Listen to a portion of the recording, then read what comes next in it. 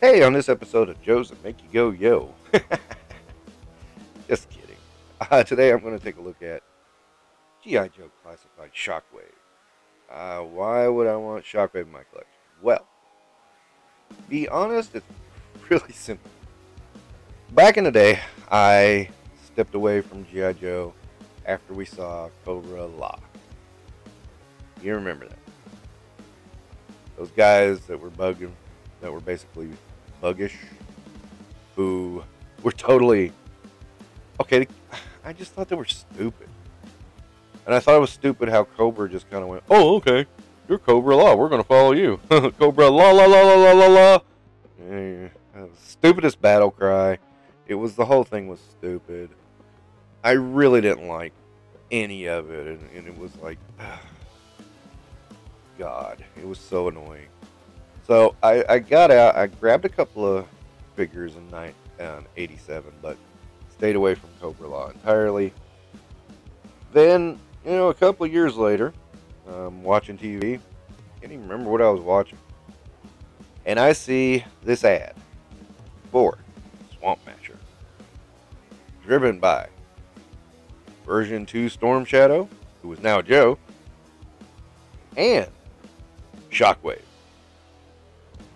Oh, who's this? Who's this Shockwave dude? That's a Transformer name. I liked him. He was wearing blue blue camo. That's cool. I think that's awesome. I'm gonna, and he's got a ball cap on instead of just having the balaclava, which I didn't know what it was called back then. And I was just like, these you know, I'm gonna, I'm definitely getting that Storm Shadow because that's cool. I'm glad they finally did that. But this Shockwave guy is pretty darn cool all by himself too. So I think I'm going to grab him as well, and I'm going to get that Swamp Masher thing because that looks cool. Some people might scoff at me for saying that, but I thought that was a cool vehicle. I always did. He, you know, I love the wheels because it had the wheels from Damnation Alley and they rolled around, so you know you got real all-terrain capabilities. I liked it.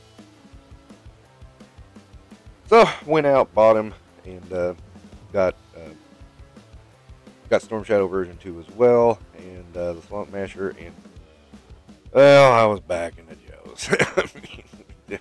I took almost, well, it wasn't even a full year. I would say about eight months off, and that is the long, that is the most non-collecting I've ever done now. Um, I will say I slowed down a lot, and I some I would have some dry spells because I was well, dark times I was pretty broke, so I'm selling my stuff, I'm not buying stuff. But I wasn't not collecting. I was just paused. You know, the desire was still there. Let me say it that way.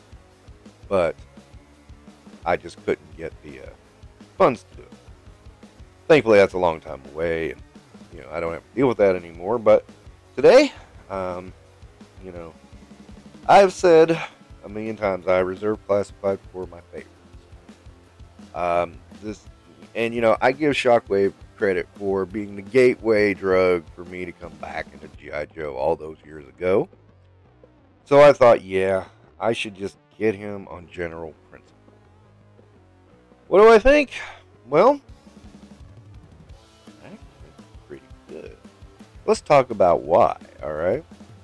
Um, now going over the paint job, I noticed. I mean, there is a little bit of yellow scattered here and there, but it's not all over the place like on the original figure. So I don't know what the choice, what the thought was on that choice, but okay, I'll go with it. The detail on the head looks pretty good. Um, the vest, overlay vest, looks really good. And, you know, all around he looks pretty good. I mean, can't complain one bit. I don't notice any uh, paint issues. So, yeah, I'm going to say Paint and detail looks awesome, man. Awesome. Articulation, again, this is. Joe Classified. We know what this is. Uh, there's nothing special, new or special here. So I'm going to move on from that. I know, that gets a little boring. It's just the same thing. You know, well, unless there's something new. I mean, what? Why even bother, right? Accessories are pretty interesting. He's got a he's got a nightstick and a riot shield. The riot shield's a new one. His original did not come with that, obviously. But it does look cool. I mean, it looks very cool. I like it a lot. And I don't think I would accept that from too many other characters. I mean, I know he was a SWAT specialist, so yeah, that works. His uh his cap does come off, so that counts as an accessory.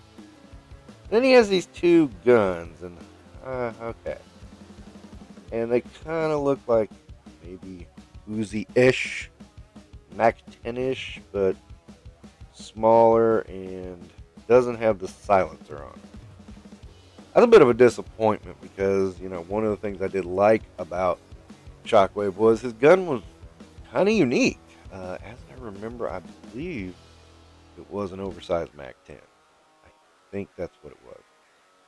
Um, he's got these two knives. One's a regular looking knife. The other one kind of looks like a fishing knife where it's got the uh, hook in it to gut the fish. I don't hate it. I like it. Um, of course, it goes on the ankle, which is like, eh. You know, ankle blades look cool in movies, but that's it. I, I, I, I, I, I know, I know, I know. You know, what, what do you do? Is you keep with the original design, or right? Not terrible accessories, but I did find myself once again dipping into my Valaverse extras and grabbing out that kind of Uzi looking weapon with the silencer on the front to give to him because at least that looks a lot more like the weapon he had with his original figure. Um, he had that and a pistol. Um, I could probably grab a pistol out of the box too if I wanted to. Uh, I probably won't though because I just I think with the Uzi looking weapon it looked just fine. Scale wise, yeah, I like. I'm sorry. It's, it's, you know, he's classified, man. Come on, he's, he's in the classified scale. I mean, yeah, yeah, okay. Well, alrighty then. Uh, once again, we do have some really soft accessories here. Thankfully, that shield is not soft because I heard stories of the Alley Viper shield being soft, and that's really annoying. Now, is this my favorite figure of G.I. Joe Classified? Nah. Is this a gateway to get me into Classified, get me from leaving Classified? No. I am still backing out of Classified, but grabbing some on the way out.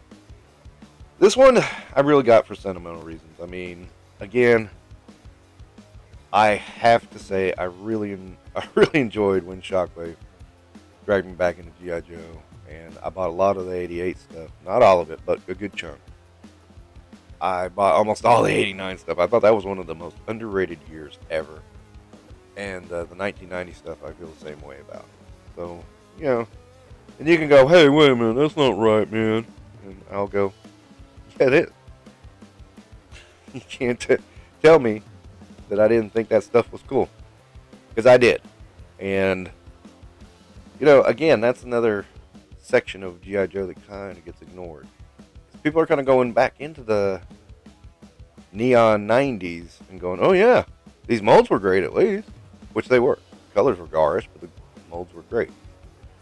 But this sort of era of G.I. Joe was kind of ignored because nobody really knows what to make of it. It's uh, some of it was featured in the DiC cartoons, some wasn't, and kind of hard to figure out how that all fits in. Anyway, thanks for watching. Um, Thanks for watching another Bitch About G.I. Joe session. I'm talking about G.I. Joe. And don't forget to do the whole YouTube thing. I won't tell you what it is, but you know what it is, right? And keep on rocking in the free world. That's Neil Young. Damn it. I gotta get this out outro. I need an outro. One of these days. One of these days I'll get it.